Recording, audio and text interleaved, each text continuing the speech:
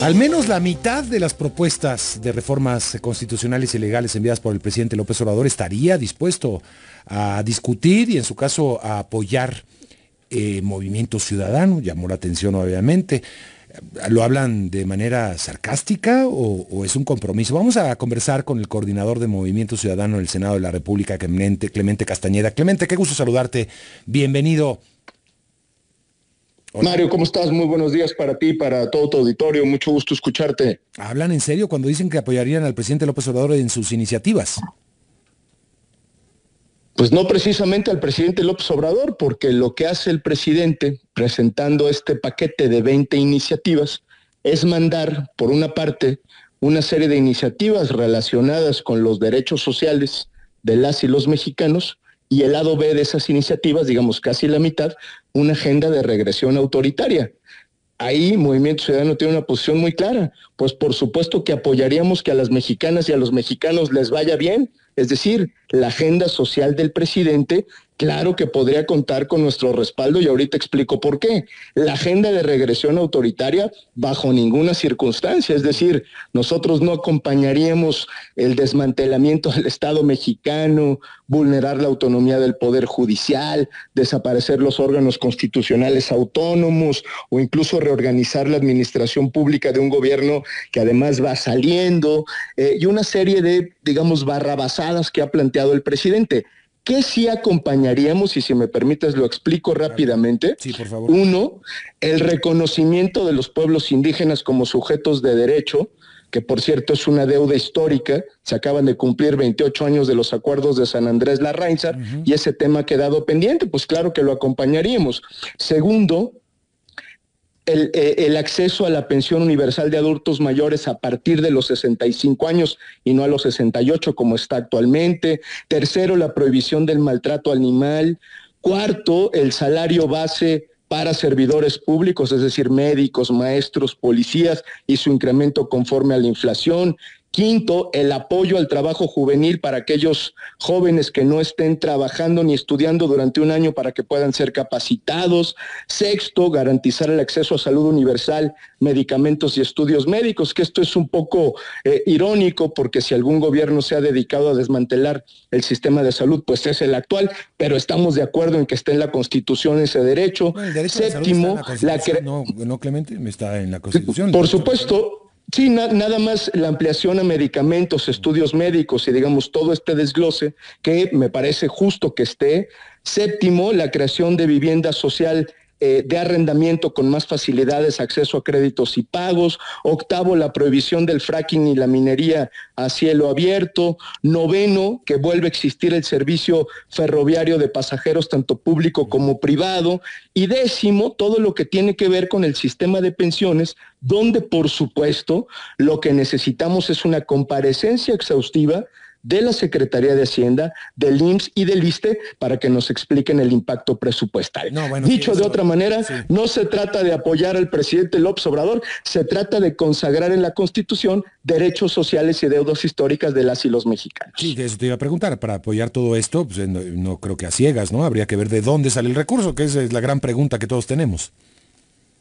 Claro, y ellos, este, digo, si están haciendo una propuesta de este calado, pues están obligados a acompañar esta propuesta del impacto presupuestal, que nos expliquen cómo están pensando financiar eso. ¿Por qué? Porque si no es así, a mí lo que me da la impresión, pues es que esto es puro bluff y pura grilla, y lo que quieren hacer espero equivocarme, subrayo, espero equivocarme, es eh, hacer del fracaso del gobierno, porque esta es una agenda pendiente, hacer del fracaso de este gobierno la clave electoral del 2024 y echarle la culpa a alguien más, cuando quienes tienen que asumir la responsabilidad son ellos, es decir, el gobierno actual, el presidente, sus aliados y sus mayorías. Sí, porque lo que hizo el presidente es enviarles una papa caliente, ¿no? A ver si se oponen a esto que es en beneficio del pueblo, básicamente.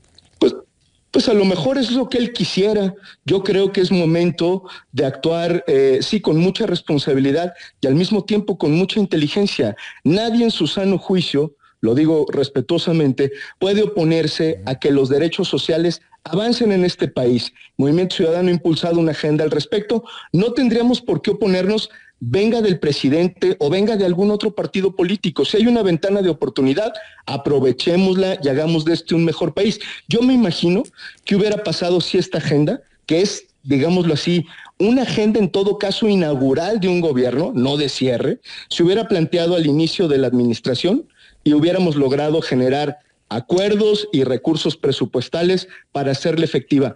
Hoy tendríamos otro país, pero no, parece ser una agenda de cierre, una agenda llena de contenido electoral y creo que lo más sensato es no caer en esa trampa, exigirle al presidente que se comprometa con esa agenda, que saquemos la votación adelante y que eso pueda estar en la Constitución. Los temas de reforma del Estado y todo este desmantelamiento que quieren hacer de las instituciones fuera de esta discusión, pero cuando se trate del bienestar de las personas, pues no podemos sujetarlo ni a la construcción de mayorías, aunque son forzosas, pero no podemos sujetarla a los vaivenes políticos de una elección. ¿Es simplemente electoral el cálculo del presidente al enviar estas iniciativas, en tu punto de vista? Yo, yo espero equivocarme, por eso es que le estamos tomando la palabra, si no, pues vamos a comprobar que el presidente es puro bluff, que lo que quiere es mandar, eh, digamos, la, la pelota a la cancha del Congreso para sacarle jugo electoral y que no hay verdaderamente un compromiso con avanzar en derechos sociales. Por eso le decimos de frente al pueblo de México, nosotros si se trata de que le vaya bien a la gente, ahí vamos a estar y ahí están nuestros votos. Eso me parece actuar con responsabilidad.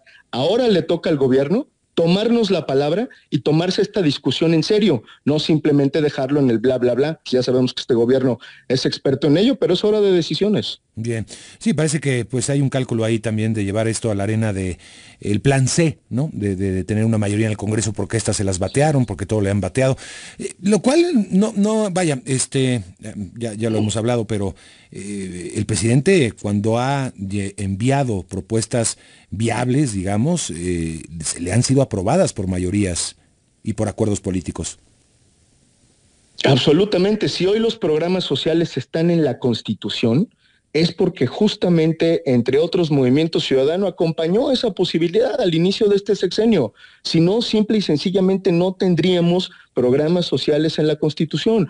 Hoy hay que hacer una ampliación, hay que hacer reformas, pues desde luego que no le vamos a regatear un derecho a las y los mexicanos. Lo que sí no vamos a permitir es que el presidente nos ponga como pretexto a nosotros del incumplimiento y de los fracasos de su gobierno para hacer grilla electoral. Pues eso es una perversidad por donde se vea y creo que este es un momento en donde hay que exigirle que cumpla su palabra. Te doy un dato nada más.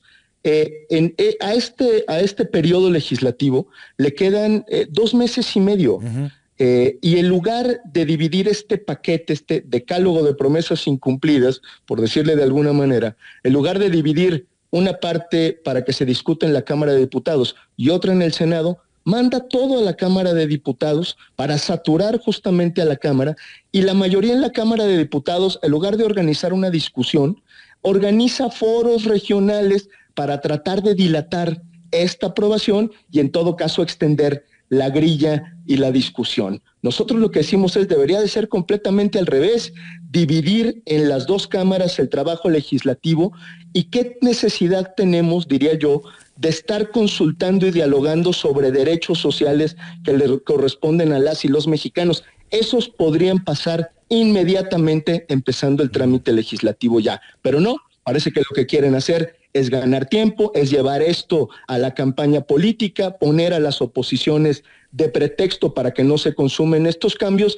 entonces sí, eh, esgrimir este falso argumento de que necesita una mayoría constitucional en la próxima elección. No, hay que decirle a las y los mexicanos, eso no es cierto. Nosotros y creo que muchos otros partidos políticos estaremos dispuestos a aprobar todo lo que tiene que ver con la agenda social, derechos sociales y deudas históricas. Bien, pues te agradezco mucho, Clemente, por conversar con el auditorio esta mañana. Muchas gracias, muchos saludos y buen día. Gracias a Clemente Castañeda, coordinador de Movimiento Ciudadano en el Congreso, en el Senado de la República.